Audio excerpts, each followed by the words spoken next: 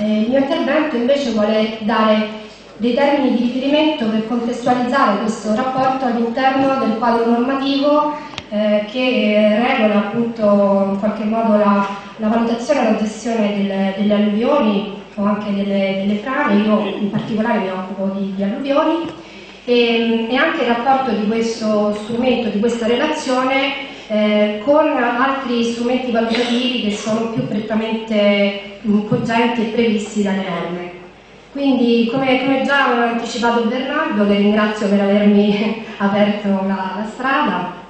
fatto strada, la norma quadro per valutare e gestire il rischio di alluvioni è la direttiva alluvioni del 2007, numero 60, che è stata recepita poi con decreto legislativo 49 del 2010 e le sue modifiche e integrazioni e appunto serve a fornire una, eh, diciamo il quadro per valutare e gestire il rischio di alluvioni attraverso quel meraviglioso e complesso strumento tecnico normativo che è il piano di gestione del rischio alluvioni e vedete in seguito che lo indicherò tramite questo acronimo IGRA per ovvio, ovvia semplificazione.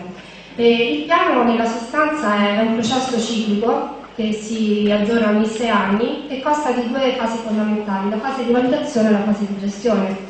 Nella fase di valutazione abbiamo un primo momento, una baseline, quindi una fase iniziale in cui eh, tutte le conoscenze vengono messe a sistema, soprattutto quelle eh, sugli eventi passati, sugli impatti di questi eventi e sono individuate le aree a potenziale rischio di alluvione. Eh, noi come Italia rispetto ad altri paesi eh, questa fase l'abbiamo diciamo, in qualche modo saltata perché avevamo già un'esperienza di mappatura, avevamo già individuato queste aree. Tuttavia la, la razza di, di, questa fase è proprio quella di individuare quelle aree dove poi andare a dettagliare eh, la valutazione attraverso modelli, attraverso valutazioni più fini. E la valutazione vera e propria è quella che viene fatta attraverso la mappatura della pericolosità del rischio e quindi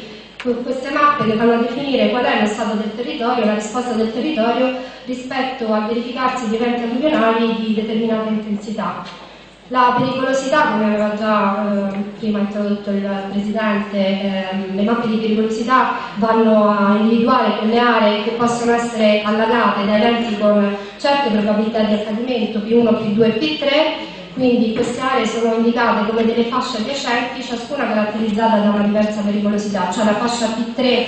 che è ehm, quella in rosso-rosa, appartengono alle aree ad alta pericolosità, sono quelle che vengono inondate più spesso, quindi con quello che si dice tempo di ritorno, la probabilità di essere allagate almeno una volta ogni 10 anni, non nelle decine di anni. E nella fascia P2 invece abbiamo le aree a media pericolosità, cioè quelle allagabili per, per eventi di media probabilità, quelle che più o meno hanno un tempo di ritorno 100-200 anni,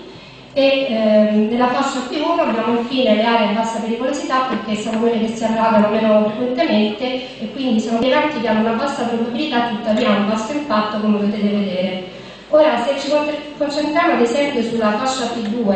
che è poi quella che eh, deve obbligatoriamente essere riportata uh, per um, la reportistica ufficiale come diceva Bernardo verso la Commissione europea la fascia P2 sarà data dall'inviluppo, quindi dall'insieme delle fasce a pericolosità alta, quindi quella rosa e, e quella media. E portando questo poi a copertura nazionale otteniamo la mappa delle aree a pericolosità idraulica media con un tempo di ritorno da 100 a 200 anni che è una delle elaborate che poi illustrerà Carla in seguito.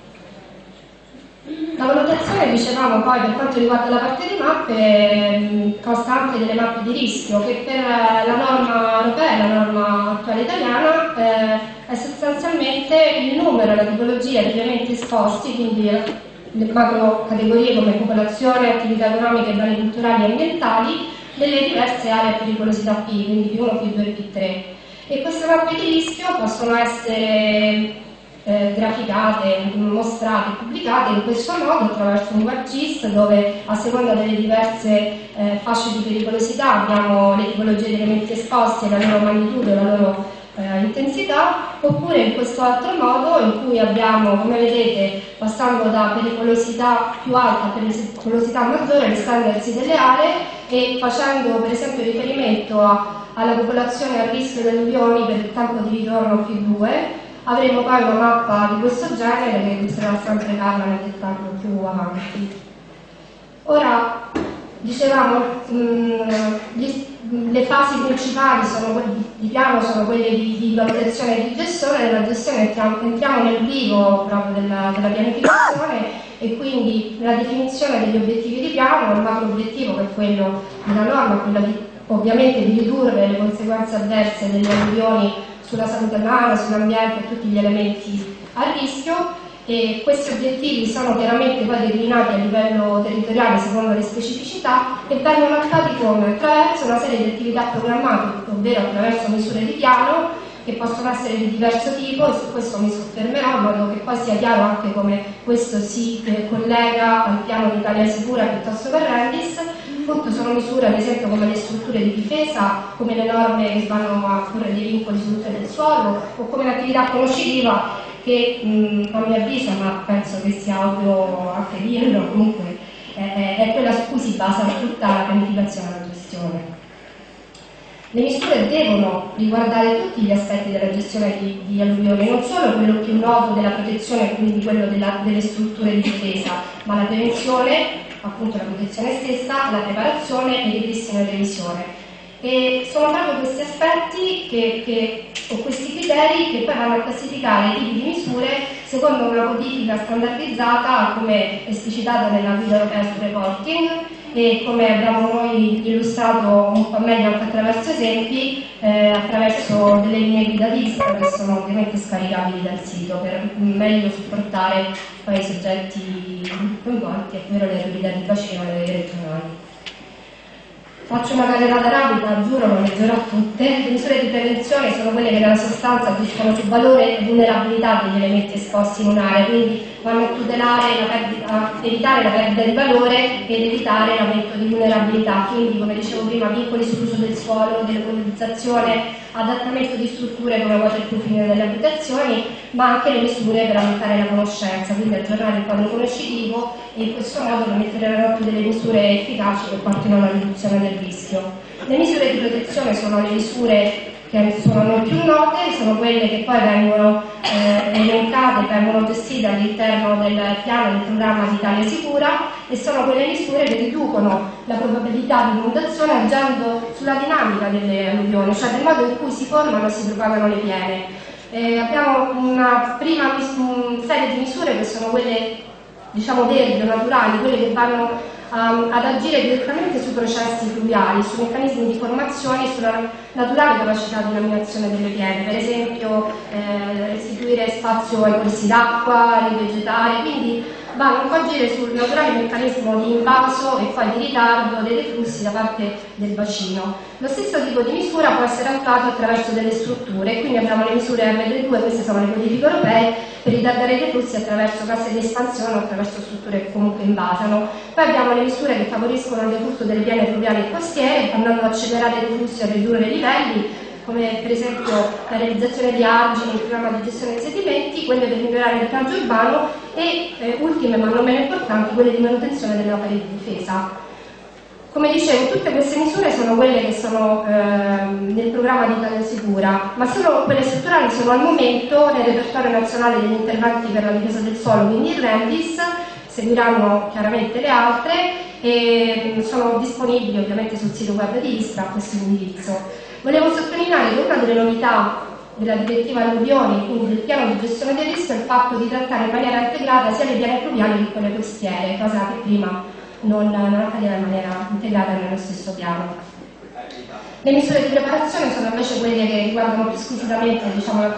le, le abilità e le attività di protezione civile perché vanno a migliorare la capacità della popolazione e del sistema di protezione civile di affrontare gli eventi, quindi sono tutte quelle attività che riguardano previsione del trattamento emergenza, come per esempio eh, il miglioramento e l'implementazione di modelli di previsione, di monitoraggio ad hoc, sistemi di supporto alle decisioni, ma anche eh, l'attivazione dei presidi idraulici, piani di emergenza e la stessa formazione degli operatori di protezione civile ehm, come, così come le misure per accrescere la, la consapevolezza e la preparazione della popolazione e questo oggetto in una particolare e meritoria campagna promossa dal Dipartimento di Protezione Civile che si chiama Nel Rischio che serve appunto a creare una cultura negli operatori e nei volontari che fanno attività di supporto. Ehm, una novità fondamentale di, della, del piano di gestione alluvioni di questa direttiva che per la prima volta il tempo di credito, quindi l'integrazione, la, la, pianificazione di bacino viene integrato nello stesso strumento col tempo reale, quindi con la pianificazione di emergenza. Questo è appunto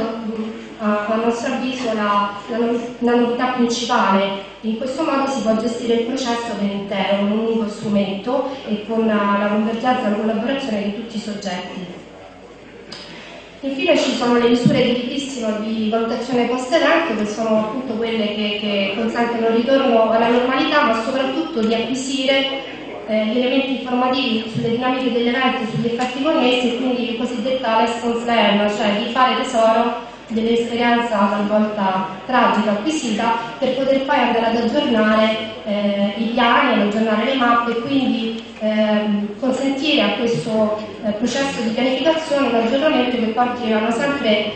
migliore consapevolezza delle cose da gestire e a una riduzione del rischio. Le misure per essere attuate hanno bisogno di risorse e questa è una grossa limitazione. È per questo motivo che la direttiva prevede una serie di azioni necessarie a priorizzare queste misure e a selezionarle applicarle efficacemente. Appunto, una priorizzazione la direttiva non dà delle procedure, ma dice quali sono i fattori preferenziali per fare la realizzazione. Tra questi la, il preferire misure win-win, cioè quelle misure che possono contemporaneamente consentire l'attuazione di più politiche, ad esempio la politica di tutela delle acque della direttiva acque con quella di, di difesa dall'inondazione della direttiva alluvioni o di tutela delle aree protette e, e, tra queste misure anche di favorire quelle che eh, in qualche modo ehm, consentono di il, il natura, la naturale mitigazione delle alluvioni come le cosiddette misure verdi, lo spazio primo eccetera. E questo è oggetto già di diversi piani di diverse linee guida sia di Istra che delle regioni, ad esempio adesso vedo qui la collega Monica Guida della regione Emilia Romagna che ha recentemente pubblicato delle linee guida proprio per gestire i processi fluviali ehm, in modo tale da, non, eh, da favorire appunto la naturale mitigazione delle alluvioni e non ricorrere sostanzialmente a strutture. Eh, non perché questo sia un vero male, ma perché è anche una maniera molto più economica e di, di, raggiungere lo scopo e allo stesso tempo favorire anche la realizzazione di obiettivi di altre policy, di altre politiche. L'altra azione necessaria è scegliere e attuare efficacemente le misure, ovviamente il monitoraggio dello stato di attuazione, in questo modo si riesce a capire se e come sono attuate le misure e quindi fare una verifica della loro efficacia, come dicevo prima, eh, andare eh, di nuovo ad aggiornare il piano e, e procedere eh, verso una riduzione del rischio.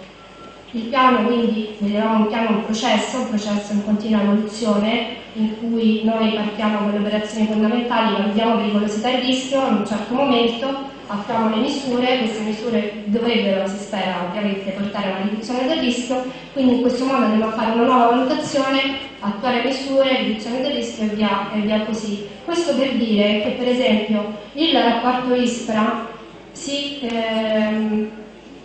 colloca temporalmente in un certo periodo, quindi ad esempio per l'alluvione il nostro rapporto è aggiornato a maggio-giugno del 2015 e per le frane a settembre del 2015. Eh, le, il miglioramento delle conoscenze, l'aggiornamento porterà probabilmente anche delle eh, lievi differenze in alcune cifre, per esempio popolazione esposta, piuttosto che altre cifre nei piani di gestione che verranno pubblicati a fine marzo del 2016. Questo eh, lo dico perché è oggetto di molte domande, come questi dati differiscono per il semplice motivo che esprimono due fotografie a momenti, in momenti diversi. Quindi dobbiamo sempre ricordare che il piano è un processo e che le valutazioni che facciamo sono valutazioni eh, tempo specifiche. Quindi è molto importante questo come è importante l'aggiornamento continuo delle informazioni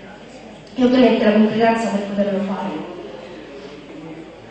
Come già hanno detto eh, gli oratori che mi hanno preceduto, come sembra ovvio, la conoscenza è il principio di tutto perché il piano è un processo di continuo aggiornamento, abbiamo bisogno di acquisire eh, quadro, il quadro conoscitivo non solo per gli aspetti più prettamente diciamo, naturali, dove mai questo abbia un senso, ma anche per seguire lo sviluppo di di consumo del suolo e di uso del territorio in generale perché è proprio quello che poi determinerà la risposta rispetto a questi fenomeni. Quindi ci serve questo per definire il rischio, per orientare le scelte programmatiche e per rendere più efficace qualsiasi intervento, strutturale o meno. Quindi è ovvio che qualsiasi processo di gestione, qualsiasi strategia ha bisogno dei dati. Possiamo governare, possiamo farlo efficacemente solo ciò che conosciamo e per conoscere dobbiamo investire. Dobbiamo investire in conoscenza, quindi nel monitoraggio vero e proprio dei fenomeni del territorio, nella, nella incentivare eh, i soggetti che, che, promuovono questa conoscenza ma che anche la mettono a sistema, per esempio la verità del bacino, le regioni,